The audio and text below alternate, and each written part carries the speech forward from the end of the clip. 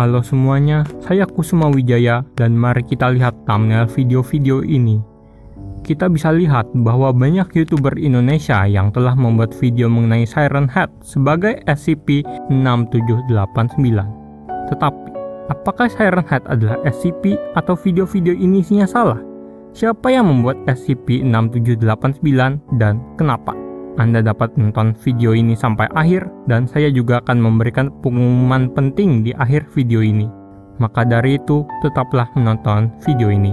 Siren Head adalah sebuah makhluk tinggi berkepala sirene yang dibuat oleh Trevor Henderson, seorang seniman horor yang terkenal dengan karya-karyanya. Tetapi, kita banyak melihat video dan orang-orang yang mengatakan bahwa Siren Head adalah SCP dengan nomor 6789. Di sini, saya akan menjelaskan fakta di balik benar tidaknya informasi ini. Angka SCP tertinggi saat ini adalah SCP-5999. Belum ada SCP resmi yang angkanya di atas 6000. Jelas bahwa SCP-6789 itu bukanlah SCP resmi. Trevor Henderson dan pihak SCP Foundation sampai berada dalam sebuah kontroversi atau drama karena hal ini. Kenapa? Untuk SCP Foundation sendiri, mereka tidak mau adanya hal-hal yang melanggar hak cipta untuk dijadikan SCP. Tetapi, sudah beberapa kali ada orang yang mencoba membuat Siren Head menjadi SCP dan kebanyakan dari mereka ditolak karena tidak memiliki izin dari Trevor Henderson, pembuat Siren Head. Seperti yang kita bisa lihat di sini, mereka langsung ditolak oleh pimpinan website SCP Foundation saya rasa walaupun mereka mendapatkan izin dari Trevor Henderson sekalipun, bukan berarti SCP mereka dapat disukai banyak orang. Tapi, mendapatkan izin Trevor Henderson sangatlah tidak mungkin. Mengapa? Karena Trevor Henderson tidak mau karyanya dijadikan SCP. Lewat Twitternya, dia menjelaskan bahwa dia menyukai SCP Foundation, tetapi tidak mau Siren Head menjadi sebuah SCP. Lalu, Siapa yang menulis artikel SCP-6789 dan mengapa? Jawabannya, saya tidak mendapatkan bukti yang cukup dari siapa pelakunya. Tapi, ada spekulasi bahwa pelakunya adalah seorang YouTuber besar.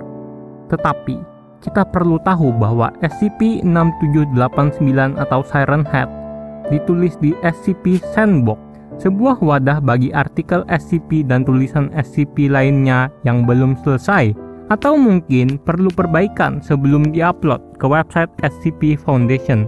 Jelas, tulisan di sini tidaklah resmi sebagai sebuah SCP, tetapi banyak orang yang mengira SCP-6789 itu SCP. Maka dari itu, kalian tidak bisa membaca artikel ini lagi karena telah dihapus dan digantikan oleh sebuah peringatan Peringatan ini bertuliskan bahwa Siren Head itu bukanlah SCP dan orang-orang tidak boleh menulis Siren Head sebagai sebuah SCP. Tapi, kalau kalian mau membacanya, masih ada arsip artikelnya di internet. Tapi, menurut saya, artikel ini kualitasnya sangat buruk.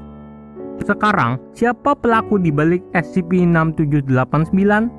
Saya peringatkan, ini adalah teori dan tidak 100% benar. Dan perkenalkan, Newscape Pro. Dia adalah seorang YouTuber yang memiliki banyak channel dan channelnya sendiri membahas SCP dengan animasi Minecraft. Dia juga memiliki channel SCP Animated yang juga cukup populer. Kedua channel ini dulunya pernah mengupload video tentang Siren Head yang mereka sebut sebagai SCP-6789. Tak lama kemudian, Trevor selaku pemilik hak cipta Siren Head langsung memaksa Newscape Pro untuk menghapus video tersebut karena pelanggaran hak cipta. Namun, hal ini terlambat karena banyak orang yang percaya bahwa Siren Head itu adalah SCP dan tentunya banyak orang yang bertanya apakah Siren Head itu SCP di berbagai macam media sosial. Nah, walaupun Newscape Pro mungkin bukan orang yang menulis SCP-6789, dia telah mempopulerkan ini. Sekarang sudah jelas hasilnya, tetapi ada satu hal yang belum terselesaikan. Banyak YouTuber Indonesia yang membuat video mengenai SCP-6789 ini, dan saya tidak yakin isinya sangat akurat.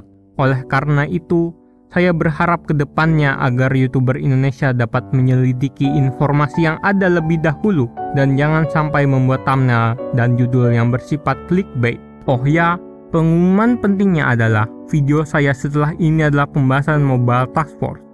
Sudah banyak yang meminta video ini dibuat, dan walaupun saya tidak dapat mengonfirmasi kapan video ini dirilis, saya berjanji untuk membahas hal-hal yang banyak orang tidak ketahui soal MTF. Tunggu saja video saya dan terima kasih telah menonton video debut saya. Kusuma, out.